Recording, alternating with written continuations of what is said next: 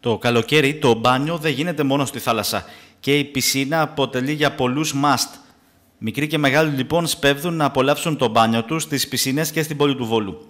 Χαρακτηριστικά είναι τα όσα επισήμαναν τόσο ο υπεύθυνος της πισίνας όσο και ο ναυαγοσό της, συγκεκριμένα στο ξενοδοχείο Ξενία του Βόλου. Μίλησαν για στιγμές οι οποίες σίγουρα είναι εξέγνιαστε για τους ανθρώπους που επιλέγουν να κάνουν τον μπάνιο τους στην πισίνα, αλλά σε κάθε περίπτωση χρειάζεται προσοχή. Το ξενοδοχείο το Ξενία του Βόλου προσπαθεί να τηρεί ψηλά τα στάνταρ, mm -hmm. τηρώντας όλες τις προδιαγραφές, τους κανόνες ασφαλείας, με επαγγελματίες ναυαγοσώστε και προσοχή κυρίως στην ασφάλεια και την υγεία των ανθρώπων. Τα πράγματα γενικά εδώ πέρα δεν είναι τόσο όσο στις θάλασσες. Ναι.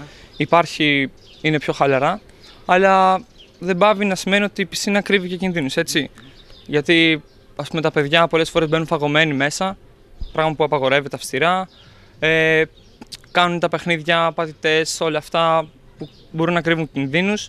Υπερεκτιμάνε πολλές φορές τις δυνατότητές τους, ναι. ενώ δεν ξέρουν μπάνιο θέλουν να πάνε προς τα βαθιά.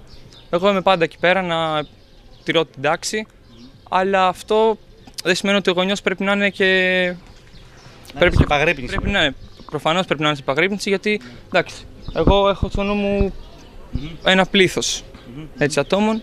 Με δεδομένες πάντως τις έρευνες στην Ελλάδα που καταγράφουν για τα τελευταία χρόνια επικινδυνότητα στο μπάνιο στη θάλασσα σε αρκετές περιπτώσεις, όταν κάποιοι δεν προσέχουν ή ακόμη και πνιγμούς και στην πισίνα υπάρχει κίνδυνος που ίσως με την πρώτη ματιά να μην φαίνεται.